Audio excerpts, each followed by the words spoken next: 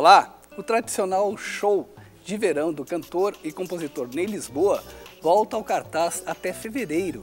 O espetáculo Ney Lisboa ocupa o Teatro Renascença e a nossa equipe foi até lá para acompanhar a movimentação do público.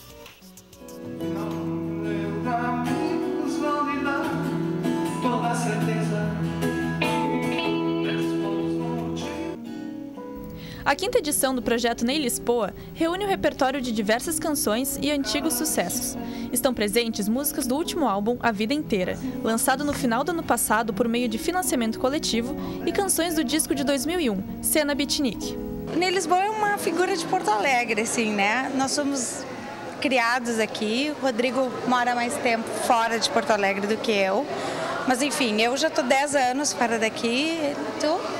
Eu quase há 25 anos fora, né? Morei no Rio de Janeiro muito tempo e depois a gente foi para Hong Kong.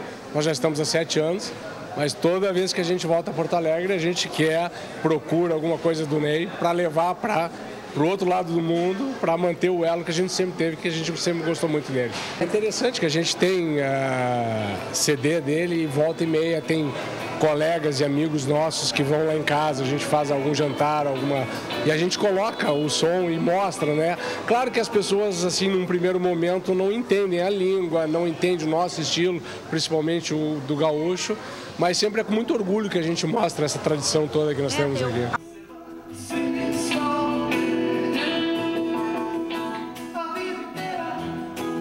O músico, que completou 55 anos este mês, traz uma novidade para esta edição.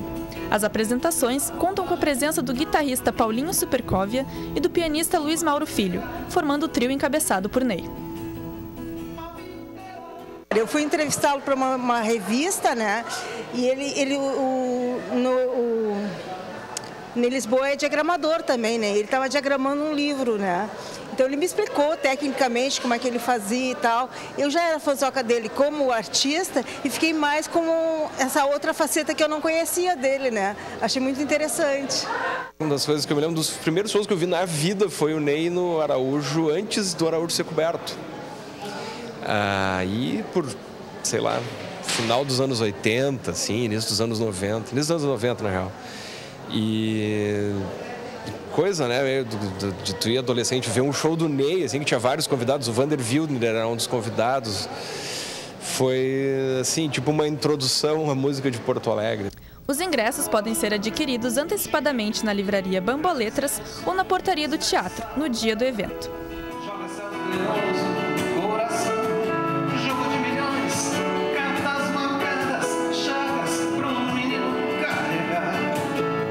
Relação é é, é desde sempre, né? Dos anos 60, da nossa juventude enfim, que a gente andava por aí e via os bichos grilos nos jardins e tal. Uh, e o Ney é uma pessoa que admiro muito. Fiz aula de canto com o tecladista dele. E a minha primeira música, assim, nervosa, tremendo microfone, foi a música do Ney, a primeira música que eu cantei, assim, bem para algumas pessoas foi, foi a música por aí. Então, o Ney é um amor, eu amo e sempre que eu puder eu vou estar tá aplaudindo ele. Beijo, Ney, te amo.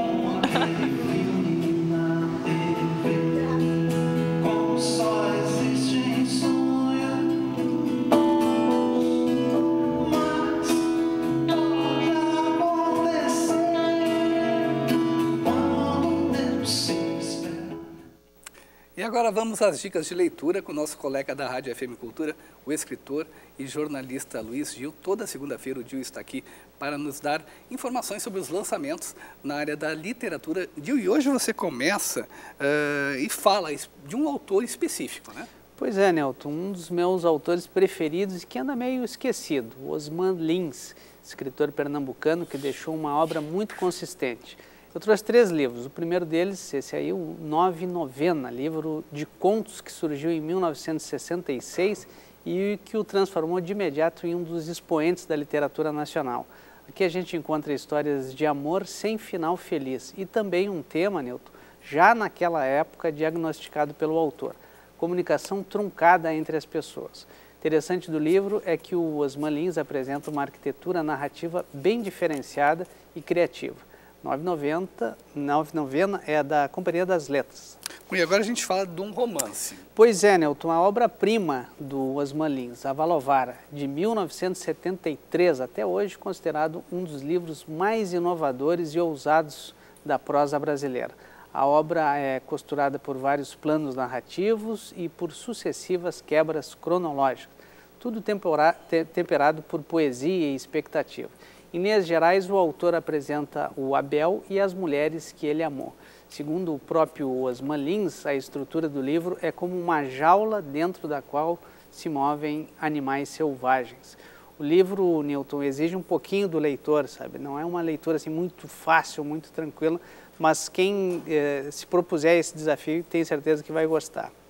E eu estou aqui na, é, o livro está aqui nas minhas mãos uhum. e, e, eu percebo que tem algumas anotações tuas aqui ah, né, durante sim, o livro. Sim, sim, em geral a gente vê isso uh, em livros mais acadêmicos, né? É, livros é. teóricos é. e você está aqui fazendo. Vezes, é, são, são frases, são parágrafos que me chamou a atenção, alguma coisa que me veio à mente, alguma coisa que eu vou pesquisar depois, é quase como a gente vai lendo e vai quase estudando ao mesmo tempo o livro, né?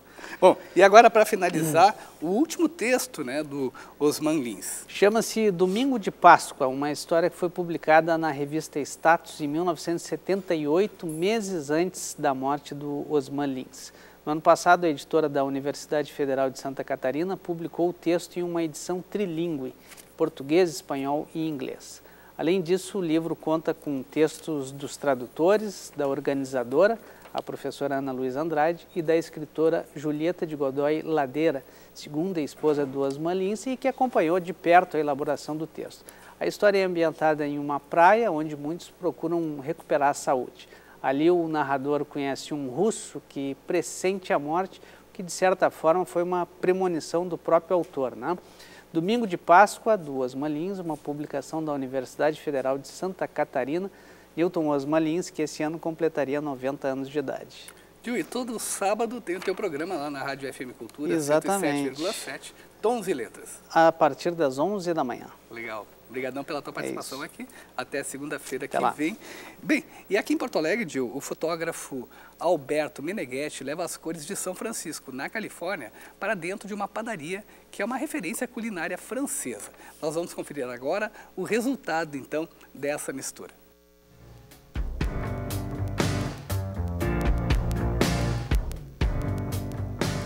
Entre pães, doces e salgados de inspiração francesa, a Padarie começou a diversificar o cardápio. A proposta partiu de um fotógrafo.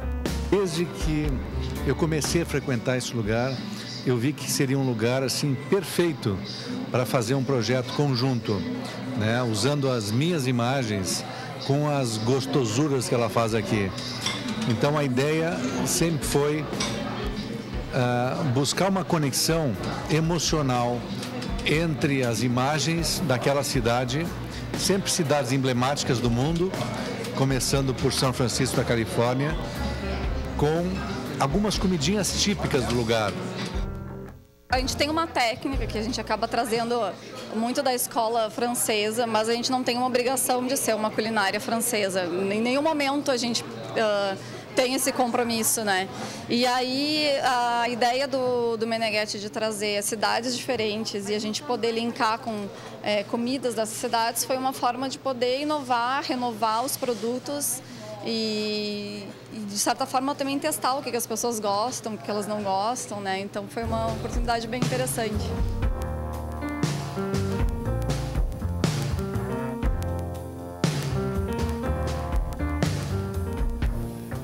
Eu já tinha um acervo bacana que eu tirei ano passado é, de toda a costa californiana, de Los Angeles a São Francisco.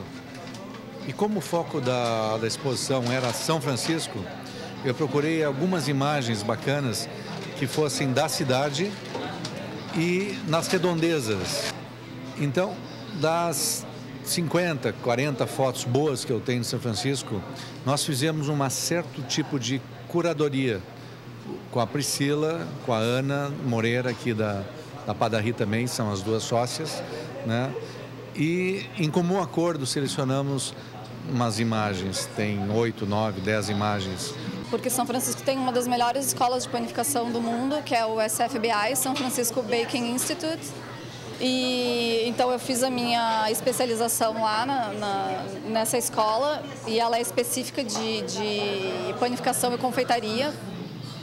E também São Francisco ela é muito conhecida por um pão que eles têm, que é o pão sourdough, que é um pão que tem um levain bem acentuado.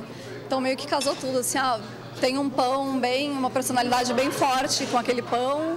É uma cidade interessante, é uma cidade que eu acabei de voltar de lá e, enfim, tive muito contato com essa cidade e foi a forma, foi a primeira cidade que a gente escolheu. Esta proposta cultural e gastronômica vai ocorrer durante todo este ano. A cada dois meses, a exposição e o cardápio serão renovados, sempre tendo como tema uma cidade do mundo.